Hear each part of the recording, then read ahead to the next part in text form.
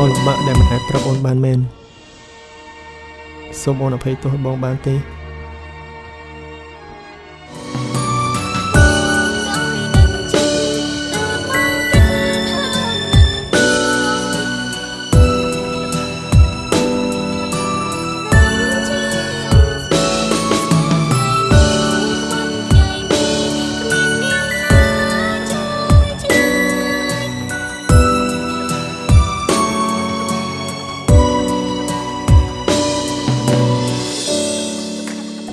ឯងទៅមកពីណាអូបងទៅមកពីជួបមិត្តភក្តិបងនៅខាងក្រៅហ្នឹងណា